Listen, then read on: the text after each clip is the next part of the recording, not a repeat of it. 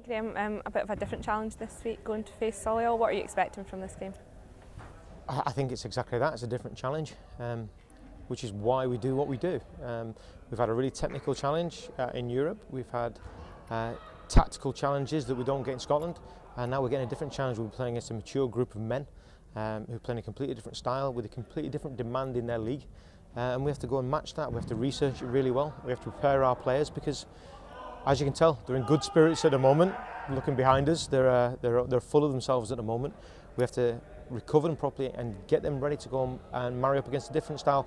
And I think that shows really good parallels actually with the first team. So the first team will have a European challenge, then they'll have a domestic challenge, and then they'll have a challenge actually in a cup competition and a, and a game they're expected to win. So we get lots of different challenges and lots of different problems to throw at the players, which obviously helps their education and helps their thought processes, but prepares them hopefully to play for our first team.